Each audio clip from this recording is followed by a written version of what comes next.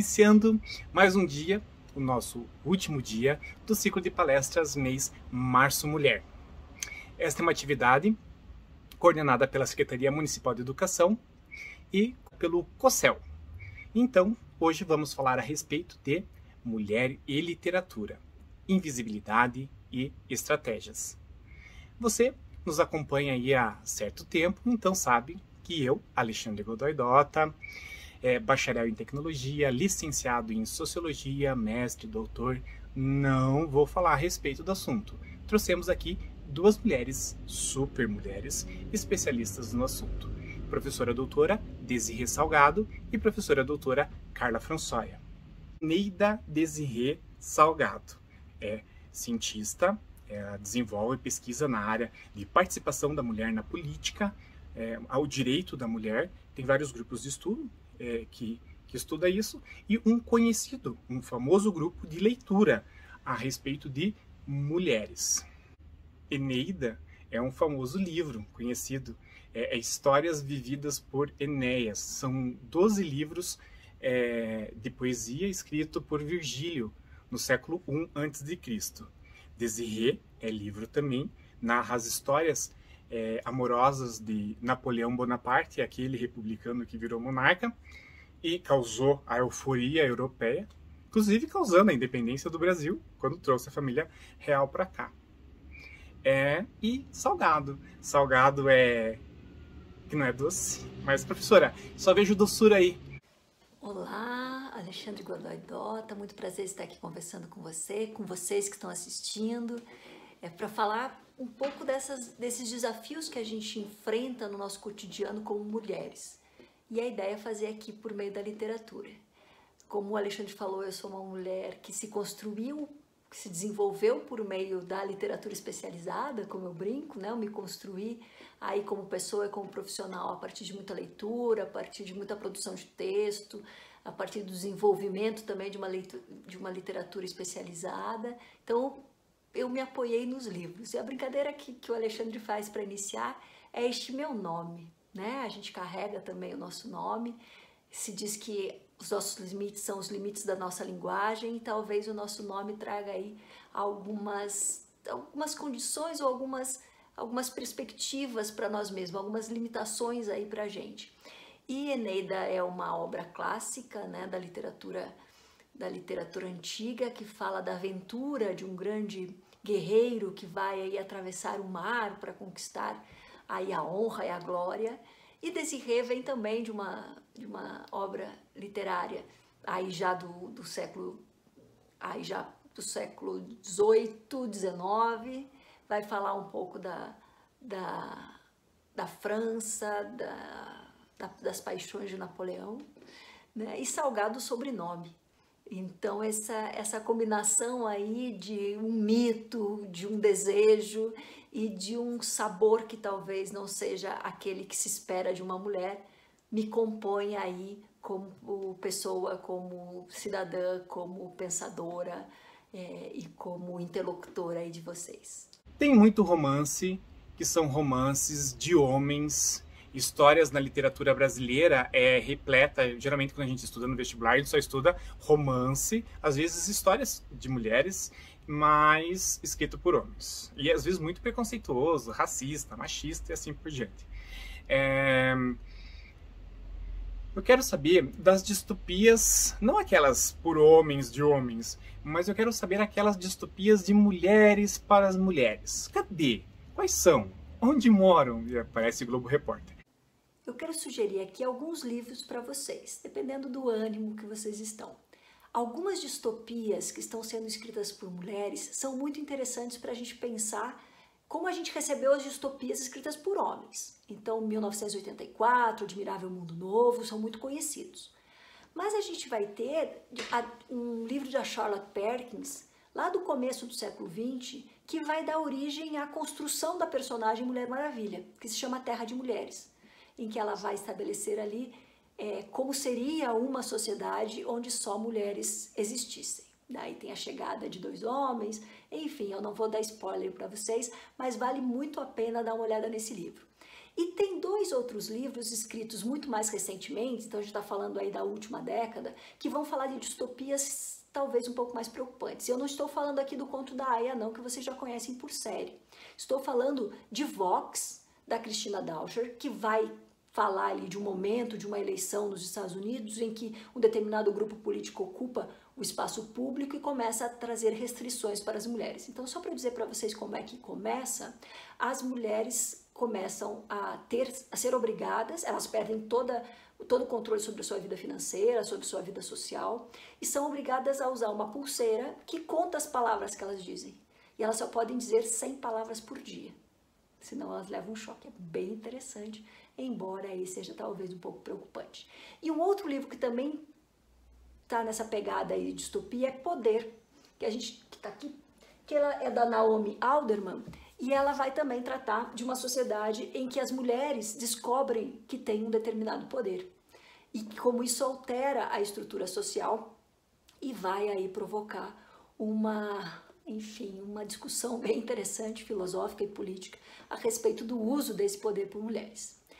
E vou trazer para vocês aqui meio arriscando, porque eu não terminei de ler o livro ainda, é um livro que a gente foi indicado ali no grupo, né? a gente também faz isso, né? a gente vai indicando livros para serem lidos, a cada período, então cada vez uma pessoa, uma das mulheres indica. E um dos livros que a gente teve para esse ano, o segundo, é, o primeiro foi No Seu Pescoço, que está aqui atrás, o segundo foi Enterre Seus Mortos, da Ana Paula Maia, que é um livro bem, ó, veja que ele não está terminado ainda, então estou me arriscando. Mas esse livro me arrebatou nas primeiras páginas. Nas primeiras páginas ele já, já me tirou assim do meu eixo. É um livro absolutamente cru, duro, doído e que vai tratar de morte, né? Inicialmente de morte de animais e que vai demonstrar aí como a gente vai se dessensibilizando, a gente vai se desumanizando. É, em tempos de emergência sanitária, talvez seja uma, uma, uma dica assim forte demais. Depois vocês me contam que tem que vem aí para mostrar um pouco de literatura. Como a literatura vai fazer com que a gente seja provocada por uma reflexão dentro disso. E é uma mulher, né? Uma escritora mulher, Ana Paula Maia, é uma brasileira que vai tratar disso. É, e por último, eu queria indicar para vocês o quarto de despejo, né? a doutora Carolina Maria de Jesus, recentemente aí com um doutorado honoris causa, causa que tem uma história muito interessante, que tem um, uma escrita ali ainda ainda no Brasil dos, dos anos 50 e 60, onde ela vai descrever muito das suas dificuldades como mulher periférica. Eu vou usar periférica, embora não esteja isso, né? Não é assim que ela, que ela se vê. Uma mulher excluída, uma mulher fora aí das, das engrenagens sociais. Também é um livro duro, é um livro pesado, é um livro é, que faz com que a gente repense aí a nossa sensibilidade para questões sociais e é um livro que vale muito a pena pena ler. Mas eu vou dizer de novo, não leia sozinha, não leia sozinho. Procure espaços para debater essas leituras, exatamente para fazer com que você ressignifique algumas das suas certezas, algumas de suas opiniões, algumas de suas experiências, alguns dos seus sentimentos a partir dessa leitura. Às vezes a gente não consegue fazer isso individualmente. É preciso sempre estabelecer um diálogo para que isso fique mais interessante. E lembre sempre, a literatura, a arte é o que nos salva da vida. E aí a gente vai dar esse alívio à vida que às vezes pode parecer um pouco pesada, fazendo esse recurso à arte. É, já tem algum tempo que eu ouço falar a respeito do mulher de frases. Sempre quando eu ouço falar mulher de frases, eu lembro dos Raimundos, mas não é fases, é frases expressão verbal, né, unidade de pensamento. Fala aí, professora, que estratégia é essa de se reunir para discutir leituras? É verdade que desde 2012 vocês estão se armando para provocar uma revolução do matriarcado? Vocês querem dominar o mundo? Estão conspirando contra os homens? Brincadeira, mas se for verdade, me chama que eu quero participar. Apoio. Mas é, Brincadeira, um pouco de ironia. Bem, fiquei sabendo a respeito do grupo Mulher de Frases e que movimento é esse? É, o que, que, vocês leem? É, mulher discutir literatura escrita por mulher. Quais são as tramas? Quem são as protagonistas? Qual que é o proveito, a razão de todo este movimento? As estratégias para dar conta dessa invisibilidade, dessa diferença, pode ser criar grupos de discussão sobre literatura produzida por mulheres. A gente tem aqui em Curitiba o famoso Mulheres de Frases. Como que ele surgiu, esse grupo? Nós descobrimos já duas décadas atrás que os homens tinham aquele futebolzinho de sábado, lembra que a gente está falando de um momento sem pandemia, em que eles se reuniam para jogar bola, para tomar cerveja, para comer uma carne, mas também para falar da vida. E a gente que nunca foi incentivada a, a se agregar assim coletivamente, lembrem que as lavanderias coletivas foram proibidas no final do século XVII na Europa exatamente para não permitir que as mulheres criassem espaços de socialização com outras mulheres, a gente nunca, nunca criou esse, a gente nunca teve este momento. E aí as mulheres de frase se reuniam nos finais de semana, né, uma vez, às vezes por semana, por mês, a cada 15 dias, a depender de como estava a nossa vida, e discutiam um livro escrito por mulheres. Então era um jeito de, ao mesmo tempo, nós darmos visibilidade para nós mesmas da literatura feminina, das, dos grandes livros escritos por mulheres, mas também, por outro lado, ter um espaço para falar da vida. Então a gente ocupava, uma, confesso a vocês que uma parte desses encontros era sobre o livro, sobre o momento em que foi escrito, sobre o impacto que, que gerou na sociedade a produção daquela obra e outro impacto que aquela obra, que aquela leitura ocasionou na gente. E aí, obviamente, vocês devem imaginar como isso era atravessado por um conjunto de questões pessoais. O momento que a gente estava vivendo, e que às vezes que o país estava vivendo, uma questão social importante, e a gente foi encontrando espaço para a literatura de mulheres e também para falar da vida. E aí lemos coisas impressionantes. Então tem aqui uma parte né, do que a gente leu durante esses anos, e a gente ocupava esse lugar descobrindo mulheres. Então, não só as, as, mulheres clássicas, né? não só as mulheres que todo mundo fala, que todo mundo discute, mas algumas mulheres aí que estavam inaugurando, estavam tentando a sua primeira incursão no mundo literário. Isso fez com que a gente também se tornasse, como consumidoras de literatura, por assim dizer, muito mais abertas, muito mais receptíveis a formas e meios de, de, de, de construir um, um, uma estrutura literária. Então, eu particularmente muito acostumada com uma literatura, eu gosto muito de, de uma literatura é, mais ali do final do século XIX, começo do século XX, em que existe uma estruturação específica, aí eu já fui vendo que existem outras formas de demonstrar aí a maneira como se vê o mundo, como se constrói uma narrativa, como se trabalham as emoções na literatura essa, essa visão de, uma, de, uma, de um conjunto de mulheres na literatura faz com que a gente, então, também filtre as nossas experiências por meio dessas mulheres na literatura, que eu acho que é a grande sacada da arte, por assim dizer. Né? Então, a arte literária faz com que a gente compreenda as nossas questões também através dessas leituras, ou também através dessas personagens, dessas histórias e por aí vai. E nós lemos muita coisa. Eu brinco que a gente leu 90% de coisa boa e os 10% de coisa ruim, porque também não é tudo que a gente vai encontrar que é bom, apesar da gente ter ali a mente aberta, serem mulheres também diversas, de idades diversas. Alguns a gente chegou à conclusão que de fato não era bom, mas muita coisa era muito boa. Também começamos a explorar não só a literatura produzida na América e na Europa, mas também em outros lugares, o que também provocou novos olhares, às vezes até algum incômodo. A literatura produzida do Brasil foi um destaque nesse tempo todo. E talvez seja uma, uma estratégia interessante. Nesses tempos de pandemia, em que a gente tem tantas restrições, a arte é uma opção para nos resgatar desse, desse, sentimento de que tá tudo difícil, de que a gente não tem como planejar um futuro, que a gente não tem muita perspectiva. A criação de grupos de discussão de literatura de mulheres, de preferência para dar visibilidade, é, é, pode ser um espaço para você não apenas falar de literatura, mas para você falar da vida, das suas experiências de vida, de como o impacto dessas escritoras faz com que você repense, reconstrua os seus sentimentos, a sua vivência, o que você experienciou.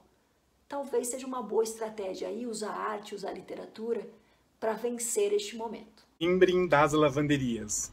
eu não lembrei. Eu, de fato, aprendi. Eu não sabia disso. Muito interessante. Mulher que pensa coletivamente é um perigo. Acho que isto é a vistas dos homens, né? Aqueles do poder. Penso que deva é, ter receio aí por parte deles. É uma certa insegurança, talvez medo, não sei dizer. É até compreensível diante desta razão colocar a mulher, trancafiar a mulher dentro de casa. É uma visão tradicional. É, não cabe a mulher o público, somente o espaço privado, casa, lar, amorosidade com a família. Já o homem encara o público, é, o espaço de debate, é, a política, o trabalho, a força, é, até o, o, a guerra. Né? É, o espaço da literatura é um espaço público, não privado.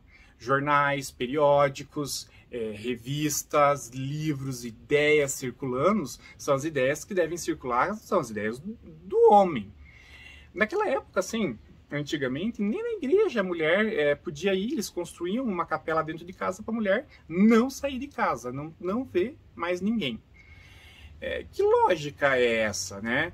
Seria uma lógica da norma social tradicional, patriarcal? não, não é que tem hoje, não é a norma vigente. É, mas é engraçado, um certo conservadorismo ocorre de maneira assim difusa em todos os âmbitos. Ah, e na esfera literária isso também acontece, né? Tanto na produção quanto nas histórias, dos protagonistas das, das histórias. É, como que isso, não sei se a professora, né? Como que isso ocorre na, na esfera da produção da literatura, na escrita? Por que, que dizem que mulher é invisível no contexto uh, da literatura? Uh, existe uma invisibilidade de fato da mulher? E se existe, qual seria o principal fator que teria causado a ausência do feminino na literatura? Essa leitura, essa divisão social vai se reproduzir durante talvez até o século XXI. Em tempos de pandemia, nós podemos perceber como muitas dessas questões, dessa diferença do tempo para si, do tempo para autodesenvolvimento, não é o mesmo ainda entre os gêneros. Nós temos aí um muito mais tranquilidade para os homens para que façam isso do que para as mulheres. Nos atribuíram, por conta de uma diferença biológica, o papel social de cuidado, o que faz com que a gente tenha menos tempo para o nosso desenvolvimento intelectual e também para grandes abstrações. Mas isso foi muito mais marcante até o século XIX. No século XX, a gente já vai começar a ver algumas mulheres que vão produzir literatura de maneira mais intensa, é, inclusive na área filosófica, não só na literatura de romances propriamente dito. E aí a gente vai ver também que essas mulheres começam a alcançar algum espaço. Podemos ver isso a partir de um outro prisma. Quando Virginia Woolf foi provocada a fazer um discurso, uma fala é, numa universidade a respeito das mulheres na literatura, ela escreve um livro sobre isso, sobre a fala que ela vai fazer. E ela diz que ela vai procurar na, nas bibliotecas as mulheres que escreveram os livros e aí vai ver que demora para achar, demora para encontrar. E ela vai fazer um desenvolvimento muito interessante das hipóteses porque as mulheres não estão ali, porque são os homens falando, inclusive de coisas de mulheres, e em alguns casos homens falando por que, que as mulheres não são permitidas a ingressar na seara literária, vai firme aí essa, essa discussão no, no, no livro da Virginia Woolf. E a tese central dela é dizer, olha, a mulher não produziu literatura porque ela não tinha um teto todo seu. Tanto que ele foi traduzido em português com este título, né, um teto todo seu. Ou seja, a mulher precisa de alguma independência financeira, de alguma independência a respeito das suas condições de vida para conseguir produzir literatura. Vejam que isso não diz respeito apenas à posição que ela está é, intelectualmente falando. Materialmente ela vai precisar disso para ela poder se recolher por seis, sete horas em um cômodo e poder escrever. Então, talvez no século XXI, o século XX, aliás, quando tenha trazido é, a integração da mulher no mercado de trabalho, ainda com todas as dificuldades que a gente encontra em relação à diferença de, de de valor de trabalho, né, de salários e por aí vai, ela vai também poder conquistar um espaço para desenvolver essas habilidades literárias. ainda com grande desigualdade, ainda com grande preconceito do mercado editorial, então as editoras também são dominadas por homens que pensam a partir deste viés de divisão de trabalho, de uma, uma leitura que diminui a produção intelectual das mulheres, mas isso vai sendo modificado no decorrer do século XX. E aí a gente vai encontrar mulheres escrevendo grandes livros nessa, nessa época. E muitas discussões também filosóficas e sociológicas a respeito dessa ausência de mulheres no meio literário. É, como é que a gente vai dar conta de vencer essas questões é, por meio da visibilização dessas mulheres, né, da organização dessas mulheres para mostrar que elas também produzem literatura. Então, professora, agradeço imensamente a sua participação, obrigado pela sua contribuição. É, seguimos agora com a professora Carla Françoia. Professora Carla Françoia, é, Carla, Carla é a mulher do povo, tem o seu significado deste modo. Regina é a rainha, a majestosa, a grandeza, a firmeza. E François, François, é, fran francês, franco, é a pessoa livre, pessoa que exercita sua liberdade. Professora Carla Françoia é psicóloga, mestre doutora em filosofia, especialista em estudo do gênero e trabalha a ideia da dicotomia, diferenças, as ideias em torno do sexo feminino masculino. Professora, obrigado pela sua participação sua saudação. Muito grata pelo convite em participar desse projeto tão bonito, em participar desse evento, dessa comemoração, para falar de um tema tão importante para a gente. Fico realmente muito feliz em participar disso. E fico bem comovida com a forma como você me apresentou, dando o significado do meu nome, né? Dando, dizendo o que ele significa. E na realidade é o que eu busco, né? É o que eu tenho buscado durante a vida e emocionada também por vir de alguém que se chama Alexandre. Alexandre. Alexandre é aquele que protege os homens. Godoy é um sobrenome derivado de Gotts, de, de, Deus em alemão, mas ele ganhou adaptação no noroeste, noroeste da, da Espanha, na Galícia, e daí virou Godoy. Godoy eram judeus, judeus novos, é, cristãos novos, que eram judeus, viraram cristãos, e depois foram expulsos da Espanha, acabaram vindo para as Américas. E Dota é feminino de Dotto, que é superdotado em italiano. Superdotado não, dotado. Superdotado já é derivação também. Ah, e então vamos começar a, a, nossa, a nossa é, dialética aqui. Um, propõe assim, a, a, gente trabalhar de forma bem didática, num sentido bem cronológico, histórico. Por isso eu vou começar assim, bem, bem clichê, na história antiga, na Grécia. Então, se remetendo lá à história greco-romana, e para instaurar assim, uma, uma contextualização, é, é, temos lá uma série de, de, de, mulheres que poderiam ser colocadas no contexto da literatura.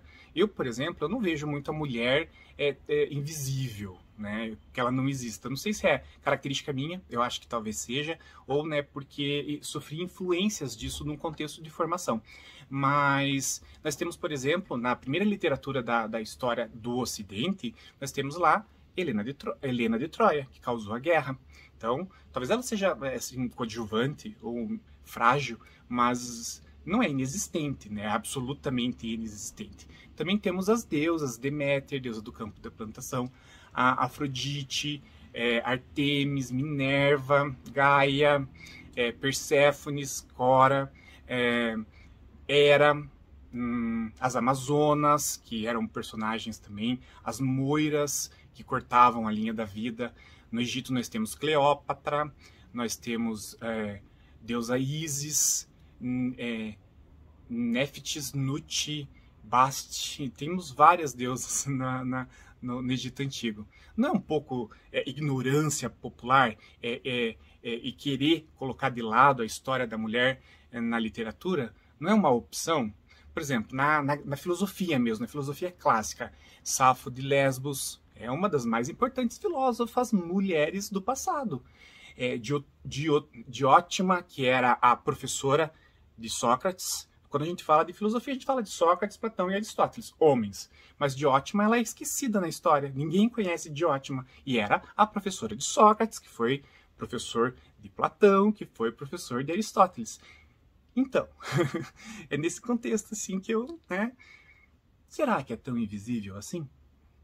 Muito importante quando a gente volta ao processo histórico para compreender a questão do gênero, da sexualidade, lugar da mulher, lugar do homem. É, e nesse meu, meu percurso, eu percebi que cada período histórico constrói um conjunto de sentidos para os comportamentos. Né? Isso é muito importante. Nesse conjunto de sentido, a gente tem que encontrar quais são os tipos de normatizações, isto é, aquilo que pode, o que não pode, o que deve ser feito, o que não deve ser feito, como se produz, portanto, a subjetividade, né? E quais são os saberes que falam dessas normatizações e dessa subjetividade. Obviamente que não é tão explícito assim, a gente tem que cavocar nesse processo histórico para encontrar esse fenômeno. Porque ao saber a normatização, a subjetividade e quais são os campos do saber que falam sobre isso, a gente vai encontrar a experiência da comunidade, desse período histórico. Aquilo que é compartilhado entre as pessoas, aquilo que é o comum entre as pessoas. Portanto, para eu encontrar a produção de subjetividade, isto é, aquilo que somos, aquilo que não somos, aquilo que podemos, aquilo que não podemos fazer, a gente precisa encontrar a experiência desse período histórico, que é o que é compartilhado entre as pessoas. Me vi estudando os gregos e as gregas. E você tem razão quando você diz: nós temos as deusas, nós temos, elas estão aí nesse processo histórico, elas estão aí sendo faladas, mas a mulher comum grega, ela tinha um lugar muito diferente, muito diferente do homem, muito diferente das deusas. Né? Quando você vai estudar a história da mulher, você percebe que no período grego, o período grego em si ele é dividido entre várias épocas, né? Cada época diz uma coisa, mas de um modo muito geral, é, para os gregos as mulheres elas não eram dotadas de logos. O que, que é o logos? Capacidade, a gente poderia dizer hoje, cognitiva, capacidade discursiva, capacidade de ter uma comunicação ou uma fala que comunique algo. Né? As mulheres falavam, obviamente, né? mas a fala delas era uma fala sem sentido, era uma fala que não comunicava algo importante para alguém. Né? Quem tinha quem era dotado dessa capacidade era o homem. Era o homem grego que ia para a praça produzir o quê? Discurso, política, que ia falar sobre é, a, o lugar do cidadão. Portanto, o homem tinha o espaço do político, ele era conhecido como biopoliticon, e a mulher ocupava o espaço da casa, do zoé, do oikos. Né? Então, ela era aquela que administrava a casa. Veja, há uma certa semelhança às nossas avós, às nossas bisavós. A mulher grega era aquela que administrava a casa, obviamente mulher livre, né? Que tinha um status social semelhante ao homem grego, mas ela não era dotada de logos, portanto, o lugar dela dentro desta sociedade era o da economia da casa. Né? Ela tinha que, que cuidar da, da, da economia da casa. Essa era a mulher grega livre. Ela não era dotada de logos, de capacidade comunicativa, né? não havia uma fala que comunicasse algo, mas ela poderia cuidar da casa. E uma outra função absolutamente importante para a mulher grega era produzir cidadão, isto é, filhos, filhos gregos legítimos. Isso era muito importante. Né? Então, o homem casava com a mulher grega né? e o casamento representava isso. Ele representava que aquela mulher era escolhida para ser a mãe de um cidadão grego. É, veja que importante que é isso, porque o lugar da mãe sempre foi muito colado ao papel da mulher. Né? A mãe, enquanto aquela que produz é, filhos, que produz a sociedade. Só que para os gregos tem uma coisa muito importante aqui.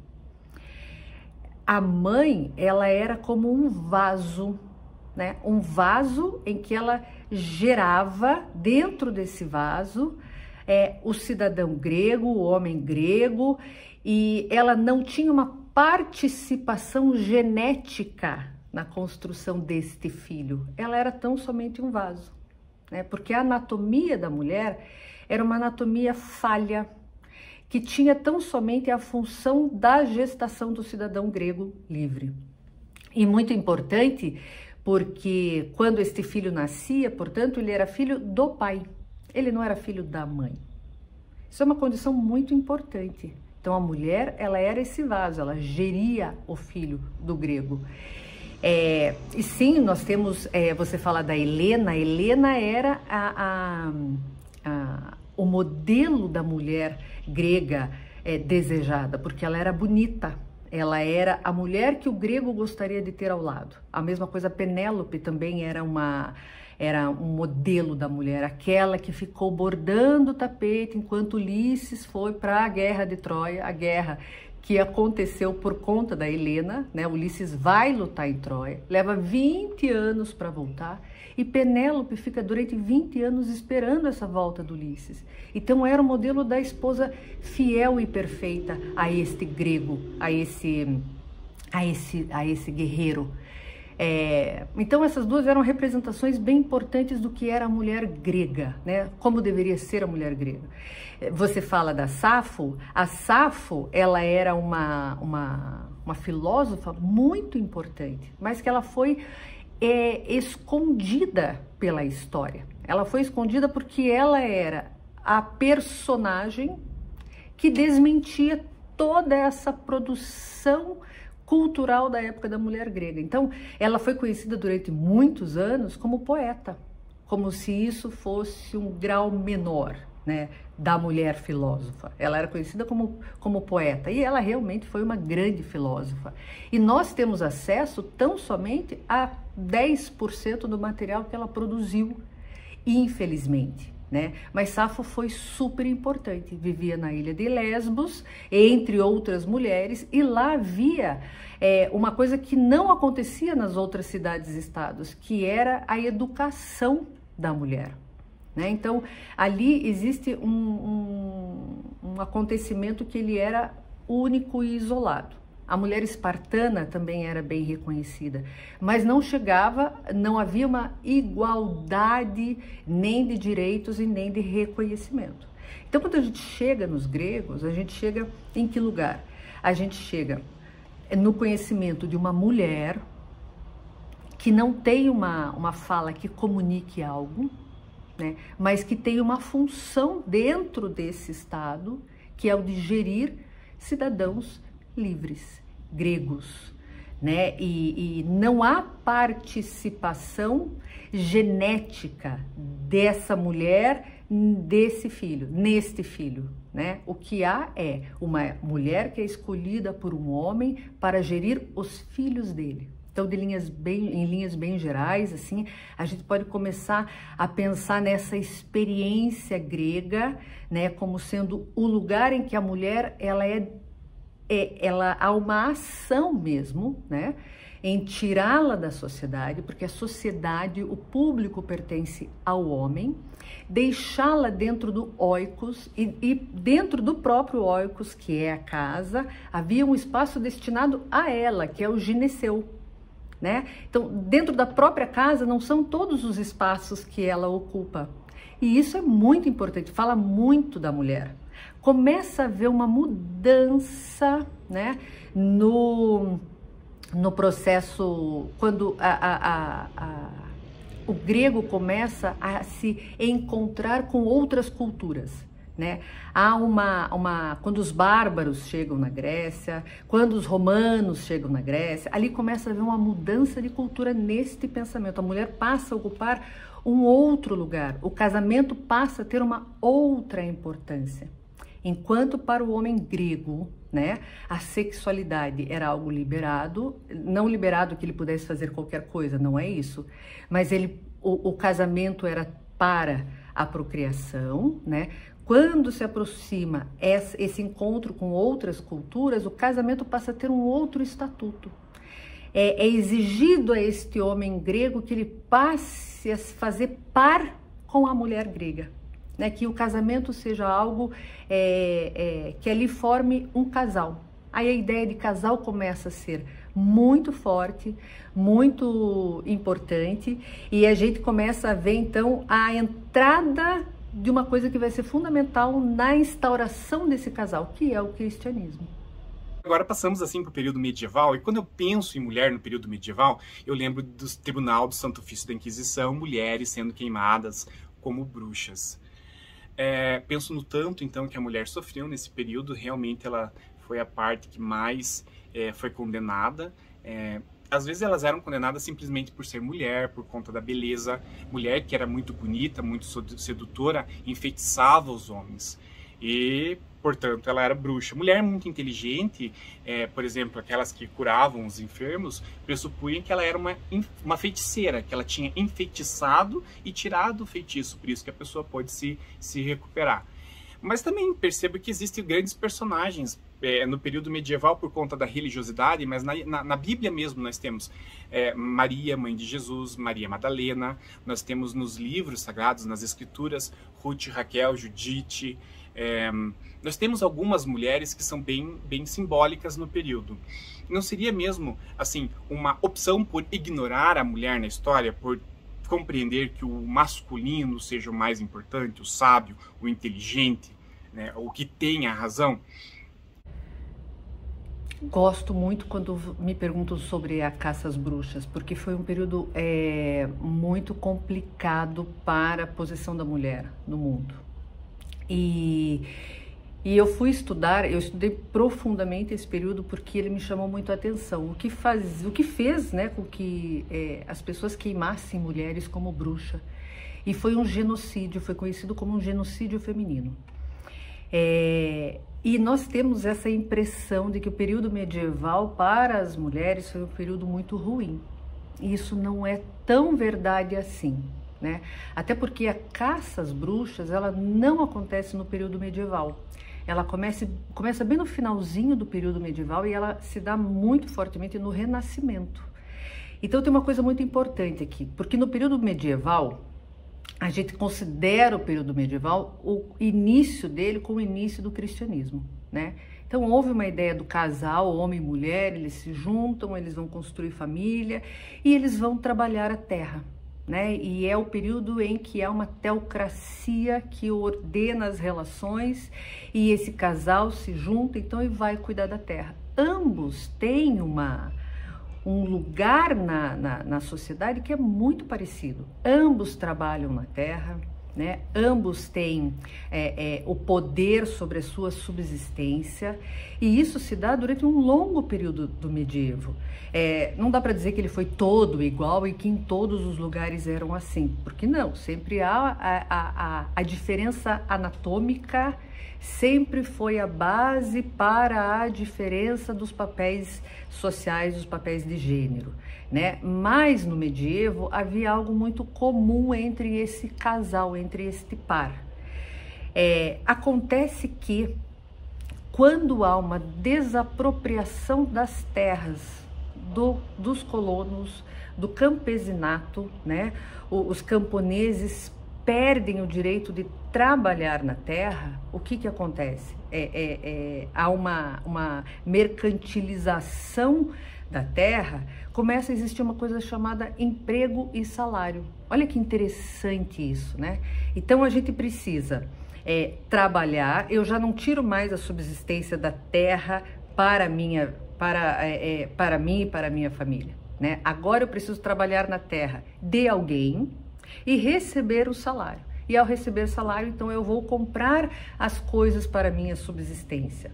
Isso no medievo não era assim. Isso começa com o final do medievo, começo do renascimento. Então daí as mulheres mais uma vez são colocadas para dentro de casa, né? Elas são colocadas dentro de casa. Os homens é que vão trabalhar fora. Eles é que vão receber salário e eles é que passam a ser responsáveis então para trazer o dinheiro para dentro de casa. E as mulheres são responsáveis pelo quê? Pela criação dos filhos e o cuidado da casa. E esse trabalho, o trabalho com, com a casa, ele passa a ser um trabalho não remunerado. Né? Nós temos uma autora contemporânea chamada Silvia Federici, que lança um livro e nos conta exatamente como foi essa caça às bruxas. É, veja que interessante, era preciso manter essa mulher dentro de casa, tá? Cuidando dos filhos, cuidando da casa e cuidando da vida desse marido para que ele pudesse sair e trabalhar, né? E ele receberia salário. E o trabalho doméstico passa a ser um, um trabalho incorporado ao trabalho do marido. Né? Ele não tem o, o, o, rendimento dele, o custo dele não, não existe. Existe o que acoplado ao marido. Então passa a ser um trabalho sem valor monetário. É um, um trabalho secundarizado. E isso é muito importante porque uma das formas de manter essa mulher em casa, coisa que elas não queriam, né? elas queriam ter também a, a, a possibilidade de, de, de, de, trabalhar, de ter essa vida mais livre, assim como o homem, era é, é, é esse terror que foi toda mulher que escapasse a esse comportamento que era descrito como o comportamento feminino, como o comportamento de uma mulher, era considerado uma bruxa. Então, a mulher considerada bruxa, ela passava por um tribunal construído por homens, um tribunal em que a Igreja Católica participou, né? É, mas não só a Igreja Católica, a gente costuma achar que foi somente a Santa Inquisição que, que, que queimou as mulheres, mas não. Era, ela participou é, junto com a construção do social, com o jurídico e com a política de uma época, e esses julgamentos condenavam essas mulheres que eram indisciplinadas. Né? As mulheres tinham conhecimento das ervas medicinais, elas tinham conhecimento é, é, é, da, da, medicina da época e isso foi tirado delas porque foi tirado delas a possibilidade de ter qualquer outro tipo de conhecimento que não fosse o da mãe e da esposa. Então, no medievo se produziu um comportamento feminino que foi muito importante, mas lhe foi tirado, né, foi tirado isso das mulheres, porque elas tinham agora uma outra função. O de novo a função de dentro de casa, a função da esposa, a função é, é, da mãe. Veja que coisa importante. No, no, no século XIV, nós tínhamos é, Cristina de Pizan Cristina de Pizan foi uma mulher, uma escritora, uma filósofa. Ela viveu da arte dela, ela viveu da escrita dela e ela era final do medievo. Né? Então ali, a, a figura dela nos mostra uma mulher que vivia da sua escrita, vivia daquilo que ela falava. É, é, era uma mulher que teve condições de criar seus filhos e de se manter através do seu próprio trabalho. Isso depois foi tirado de todas as mulheres. Né? E isso, obviamente, essa história ela acontece na Europa, na Europa é, é, renascentista, começo da modernidade. A caça das, as caças as bruxas duram um tempo bem longo, assim, é, e, foi, e foi conhecido como um grande genocídio feminino, né? Que instaurou uma mentalidade que ela perdurou e perdura até hoje, porque essa caça às bruxas ela hoje se faz de uma forma diferente, mas ela ainda continua é, é, como uma, uma subjetividade de que mulheres têm um determinado lugar para ocupar e não outros. Então, trazendo do período medieval, do período moderno para o período contemporâneo, fazendo um grande recorte do moderno ao contemporâneo, penso que a mulher passa a ser protagonista a partir do período moderno.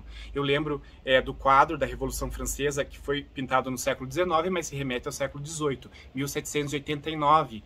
É, vocês vão lembrar, é a, o quadro da mulher que durante a revolução, no meio da guerra, ela está mandando a, a, o povo atacar ela tem o, o busto à mostra com a bandeira francesa na mão. Então, ela é um, um quadro muito famoso e, assim, um tanto é, bem é, para frente do seu tempo. É, penso que hoje em dia, se alguma mulher, por exemplo, sair na praia é, sem avisar, sem né, ser permitido fazer um topless, poderá prestar conta na delegacia por conta disso. Então, é uma coisa muito ainda é, conservadora, a visão geral da maioria. Então nós estamos no século XX, voltamos a ter um certo retrocesso. Será que a gente vive um retrocesso? Nós tivemos um avanço e agora estamos vivendo um retrocesso? E também, quais são as escritoras, as principais escritoras aí do século XX? Nós temos Cora Coralina, nós temos é, Clarice Lispector, é, é, Simone de Beauvoir, que é a, a, a francesa que diz que é, a mulher não, não nasce mulher, né? o mundo faz dela mulher. É isso. Qual que é a compreensão? várias historiadoras, filósofas. Muitas pessoas não conhecem filósofas, é, é, pessoas que pensam, mulheres, então, que é, possa citar. Eu sempre pergunto para os meus alunos, né? Lembrem-se das filósofas mulheres, tentando dar protagonismo a isso. Eu sempre lembro de Marlena Chauí, que é uma das mais didáticas aí que a gente utiliza muito na educação. É, como se constrói essa consciência no século XX? Como que o feminino passa a ser socialmente construído? Qual que é esta ideia? Contemporaneamente, como está a condição da mulher? Né? Hoje, a gente está numa condição muito melhor do que muitas outras épocas. No entanto, nós ainda não alcançamos uma condição ideal. Né? As mulheres ainda elas têm muito medo, é, as mulheres ainda são excluídas de vários locais de trabalho, é, as mulheres, é, é, haja vista, por exemplo, no, no, no próprio, na própria pandemia, o que, que acontece? Ah, quem tem perdido grande é, é, acesso ao trabalho é a mulher. Por quê? Porque ela está tendo que voltar para casa para cuidar dos filhos. Isso a Simone de Beauvoir falou lá no livro dela. Ela diz assim: quando há uma, uma, uma um fenômeno social, né, um, alguma coisa importante no social, sempre quem vai perder é a mulher. A gente está vendo agora com o Covid. Né? Houve uma transformação bem importante da condição da mulher. Né? Nós podemos votar, nós temos é, acesso à educação, mas ainda não é igual para todas as mulheres. Né? Existe uma diferença entre as, a condição de que tipo de mulher a gente está falando uma mulher branca, é, heterossexual, é, elite, tem uma condição muito diferente de uma mulher preta. Né? Então, a gente agora tem lutado e tem pensado e tem trabalhado no sentido de, de buscar uma igualdade entre a condição das mulheres, né? que nós não temos isso hoje. Né? É, isso é muito importante. Não, é, se durante muito tempo né, a mulher buscava sair de dentro de casa para ocupar o espaço público, a mulher negra buscava o reconhecimento da sua humanidade, né? buscava ser reconhecida como ser humano. Hoje, nós ainda temos essa diferença muito gritante entre é, as mulheres e aquilo que intersecciona com o gênero, como raça e classe. Né? Ainda há uma diferença muito grande. E a gente tem que pensar nisso quando a gente fala em mulher, de que mulher eu estou falando? Qual é a mulher que eu estou me referindo? Né? Então, hoje, isso é uma coisa muito importante. Né? Se a gente quer estudar sobre a mulher, se a gente quer lutar por uma igualdade, eu estou falando de que mulher, de que lugar eu estou falando, o que, que intersecciona essa mulher. A própria questão da maternidade, né? Como eu digo, mãe né? Eu estou dizendo de que mãe eu estou falando. Já não dá mais para dizer mãe. O que intersecciona nessa, nessa condição do ser mãe? O que intersecciona nessa condição da mulher é raça, é a classe, gênero, a religião, é, é a formação é, é, é, educacional, enfim, tem muita coisa que hoje a gente tem que pensar para além unicamente da desigualdade entre homens e mulheres. Né? Então isso é muito importante. Hoje as mulheres elas já escrevem, né? E, e, e, muitas escrevem. Nós temos reconhecidamente grandes escritoras no mundo, no Brasil. Nós temos Lélia Gonzalez, Conceição Evaristo, Raquel de Queiroz, é, é, a gente tem é, Clarice Lispector, nós temos na literatura universal é, é, Virginia Woolf, que foi muito importante, né? a Simone de Beauvoir, nós temos várias escritoras, contemporaneamente a Helena de Ferrante. Então, é, as mulheres já estão podendo produzir literatura, elas estão podendo escrever sobre a mulher, elas estão podendo é, dizer sobre a nossa condição. É um, uma coisa importante hoje que a gente precisa pensar. Lembra que eu falei agora há pouco de que os homens escreviam sobretudo para todos e as mulheres escreviam para as mulheres? É começar a, a, a, a difundir essa literatura feminina para todas as pessoas, não somente para as mulheres. Né? O que mulheres escrevem é para todos também. Isso é muito importante.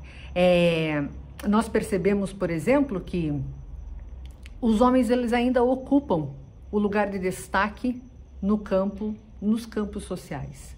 Né? Mas, por exemplo, no Brasil, a gente já sabe que 70% das publicações que acontecem são de mulheres, mas se destaca ainda a publicação dos homens, porque nós temos ainda uma mentalidade, uma subjetividade de que aquilo que o homem fala é mais importante do que aquilo que uma mulher fala. Né? É isso que a gente precisa quebrar. A gente precisa quebrar esses estereótipos que foram construídos no decorrer do processo histórico. Né? É, são seres diferentes, nós somos diferentes todos nós. Nós carregamos é, que, coisas que são diferentes, aquilo que intersecciona e que é diferente. Isso não significa que essas diferenças elas nos fazem melhores ou piores. As diferenças elas produzem diferenças e não juízos de valor. Né? E durante o processo histórico, a diferença ela produziu, produziu juízo de valor. A diferença, aquilo que é diferente do modelo homem, branco, heterossexual e elite europeu, né? É o que é o modelo do que é o adequado, do que tem que ser alcançado. E tudo que escapa isso é pior, é diferente. E nós temos que começar a compreender que a diferença ela é diferente. Ela produz a, a diferença não é algo ruim, não é algo errado. Né? Então, sim, a invisibilidade ela está ela está acabando, mas ela ainda não acabou, porque mulheres hoje, e eu falo mulheres que interseccionam várias coisas aí, têm resistido, né? Mulheres lutam já há muito tempo para ter o seu espaço né, na vida social, na vida pessoal, na vida comum. É, não acabou a invisibilidade ainda. Podemos falar mais, podemos falamos melhor, falamos é, é, sobre muitas coisas, mas agora nós precisamos ser ouvidas. Precisa se dar valor àquilo que falamos. Sim, contemporaneamente mudou, mas ainda a luta continua. E quando eu falo luta, eu não estou falando de luta armada, eu estou falando a luta que é a resistência. E a resistência ela vem para mostrar que diferença não é, é que a diferença ela não, não diz do melhor e do pior, mas ela vem dizer que a diferença é produtiva de coisas e de coisas bem importantes. Professoras, chegou no nosso momento final, é, é, aquele momento em que a gente tem que se despedir. Vamos terminar é, com a sua fala de saudação. Por isso agradeço imensamente a sua participação aqui conosco. É imensurável o valor, inestimável tudo isso que a professora resgatou e trouxe de conhecimento. É muito inspirador, motivante. Obrigado por nos inspirar, professora. Agradeço imensamente. É, agradeço também em nome é, dos colegas, agradeço à prefeitura, a prefeitura municipal, a secretaria da educação, o DICEL, é, agradeço todas as pessoas que nos acompanharam aí todas essas semanas. Um beijo grande, fiquem bem, tchau. Grata pelo convite. Gostei muito de estar aqui com você, de conversar com você sobre esse tema que me é tão importante. Né? Eu trabalho com mulheres, eu escuto mulheres. E para finalizar a minha fala, eu, eu diria assim que está na hora da gente começar a ler mais mulheres, a ouvir mais as mulheres e a assistir mais as mulheres. Elas também têm coisas para nos dizer que são bem importantes, né? E que a diferença, a diferença, ela não tem que nos excluir, mas elas têm, elas têm que nos incluir. E a coexistência das diferenças é que produz a riqueza daquilo que é o ser humano.